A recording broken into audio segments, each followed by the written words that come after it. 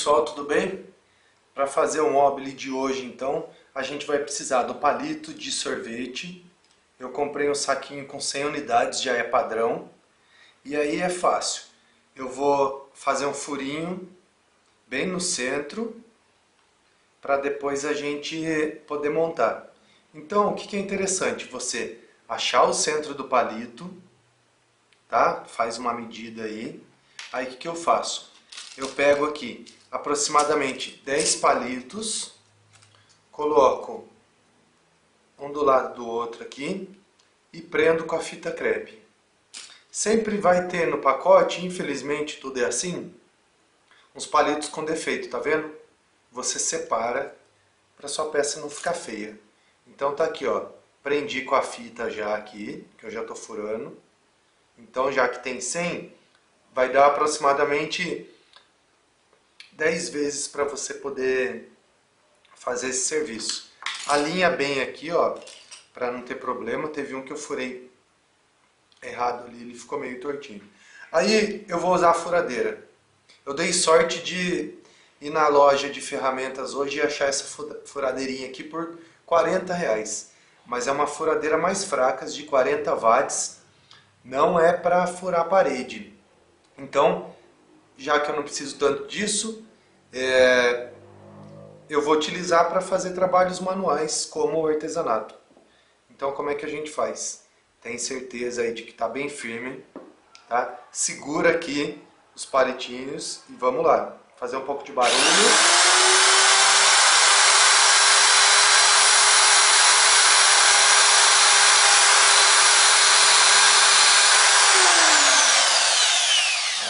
Até um ventiladorzinho aqui.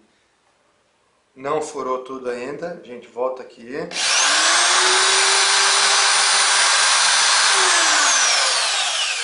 Agora foi, tá vendo? Para tirar você fura também. Tá vendo que legal e que facinho? Se você não tiver a furadeira, você procura uma broca. Aí, claro que vai demorar muito mais, porque você vai ter que furar um por um. Não vai ser fácil de furar de 10 em 10. A broca, como eu sei que vocês vão perguntar depois, eu não sei a medida, tá pessoal? É, mas aqui tem aproximadamente a espessura, deixa eu tentar imaginar aqui do que. É, de uma pontinha de, de caneta, tá vendo? Ó? A pontinha mesmo, entendeu? Então você Imagina, eu vou fazer isso aqui com fio encerado. É, imagina um orifício que deve para você passar um fio encerado ou um fiozinho de nylon. Só que quanto mais fino for a broca, mais fina, né? A chance de você quebrar essa broca é maior. Por isso eu resolvi usar essa aqui, entendeu? Vamos para a segunda etapa então, pessoal. Falou? Bom, pessoal, eu consegui aproveitar aqui quase 100% do, do saquinho de palitos, tá? Eu não, não vou aproveitar esses palitos aqui, ó, que estão bem tortos, tá? Porque eles dão uma interferência aqui. E é claro, esses aqui mais tortinhos, né? Então, na verdade, ó, é menos 6 palitos aí do saquinho com 100, tá? Então é legal. Olha o tamanho que ficou. Mas aí se você quiser dobrar, fica legal também para poder fazer uma peça bem grande. Tem que tomar cuidado com o peso dela e o reforço que você vai colocar. Então eu fiz esse acabamento aqui em cima, ó, na parte que eu, que eu quero pendurar, que dá mais ou menos aqui um palmo, né? Um palmo e mais um pouquinho. Aí eu fui colocando, ó, palito por palito. E aí você pode fazer isso aqui, ó brincar um pouquinho com a forma, ó. Tá vendo que legal que fica? Ou deixar da maneira que a gente é, normalmente faz, né? Normalmente vê, na verdade. Então o que, que eu faço aqui, ó? Aqui eu dei um nozinho para limitar. Aí agora eu vou apertar bem aqui embaixo e dar um nozinho aqui também, entendeu? É, é chatinho de fazer isso aqui, principalmente com esse nó, se fosse dois fiozinhos seria mais fácil, entendeu? Mas vamos lá que a gente consegue. Se tiver uma sementinha também, eu acho que é até mais fácil, hein? Vamos tentando aqui. Eu estou fazendo junto com vocês, pessoal. Na verdade, eu não fiz ainda. Alguma coisa eu adianto, mas não é tudo. Vou colocar essa continha aqui, ó. Para ver como é que fica. Acabei não colocando aqui, né? Agora eu não vou colocar, não vou refazer isso não, né? Tirar quase 100 palitos. Por quê? Eu, é... por que, que eu faço isso? A primeira vez que eu fiz essa peça, eu fiz colando. Nossa, não deu certo. Ela, toda hora ela desmanchava. Mas porque eu não sabia certinho como é que fazia, entendeu? Ó, tá indo aqui, tô enchendo de nó. Então você faz essa pressão para a peça ficar da maneira que a gente quer, que é daquele espiral. É, eu acredito que vai ser preciso também eu trabalhar com um pouquinho de cola aqui. Eu já vou mostrar por quê. Ó, eu, dá para dar mais um nozinho aqui, mas eu já vou fazer isso. Ó, ó como é que ficou. Aí agora a gente vai modelar isso aqui. Deixa eu fazer assim para vocês poderem ver. Eu estou fazendo vídeo aqui num lugar diferente hoje, num banquinho mais baixo. Aí deu certo, ó, tá vendo? Só que eu acredito que isso aqui vai escapar, entendeu? Então vai dar mais trabalho, mas para modelar bem certinho eu vou passar um pouquinho de cola aqui entre os palitos e a gente já vê como é que fica. Olha só como é que eu vou passar essa cola então, ó. Vou separar aqui. E não vou passar muita não, ó. Faço isso aqui. Enquanto você achar que dá, eu vou fazer aqui mais ou menos uns 10 palitos. E depois já dá para modelar.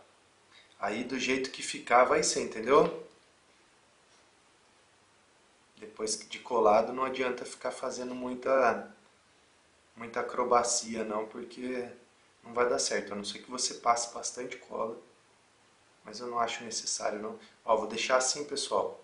Como não tem muito palito, para ficar bem vergado e dar aquele efeito legal. Beleza? Já falo da segunda, próxima etapa. Bom pessoal, a peça está finalizada. Eu vou fazendo vídeo picado, o som vai ficando cada hora do jeito, né? Uma hora é noite, outra hora é dia, mas enfim, tá valendo. Deixa eu mostrar para vocês aqui bem de pertinho como é que ficou. Essa parte aqui de cima vocês já tinham visto, tá vendo? Aqui eu coloquei uma vagenzinha, que também tem esse efeito aqui de espiral. Eu gosto bastante dessa vagem para usar nas minhas peças e você acha bem fácil aí em parques, etc. Aí aqui, ó, que eu tô passando aqui, eu fiz uma mistura de tinta de artesanato, cola e água, tá? Tudo a olho. Não adianta vocês me perguntarem quanto que tem, porque eu não, não fiz uma medida exata, não. Por que que eu tô fazendo isso? Eu tô passando isso aqui, ó, porque depois, se ficou algum lugarzinho aí faltando cola, tá vendo? Às vezes peça está um pouquinho mais mole. Isso aqui não é para ficar pôr na mão também, para ficar é, mexendo, entendeu? Mas é interessante você fazer uma peça bem firme. Então eu fiz isso para ter certeza de que a peça não vai se soltar, entendeu? E, e para dar uma tonalidade também. Eu poderia só passar uma cola aqui para dar um brilho, também ia ficar bonito, ou usar a cor, que é uma opção. Se você quiser fazer essa peça aqui colorida, você faz os furinhos, pinta palito por palito, né? Então, sei lá, 10 de cada cor para depois montar a peça. Beleza? Eu finalizo e mostro para vocês, pessoal. Bom, pessoal, terminei a peça. Tem que melhorar bastante coisa nela, mas está aí o resultado. Espero que dê para vocês acompanharem pelo tutorial e qualquer dúvida a gente vai conversando, beleza? Se você ainda não está inscrito no canal, se inscreva. Se você já está inscrito, compartilhe, curta e comente, porque só assim a gente pode tirando as nossas dúvidas, dúvidas e aprendendo uns com os outros. Tem umas pequenas falhas aqui na peça, por exemplo, ó, quero mostrar para vocês. Isso aqui é diferença de palito, tá? Porque se você observar do outro lado, na mesma posição, ele está certinho. Aqui ainda falta passar uma camada de cola e melhorar o brilho da peça, entendeu? Acabou minha tinta marrom, ela acabou ficando um pouquinho desbotada. Eu passei uma camadinha de tinta mais clara aqui.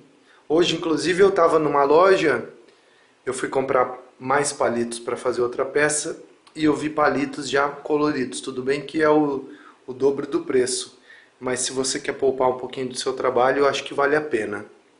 Então é isso, pessoal. Vamos lá então trabalhar? Até mais!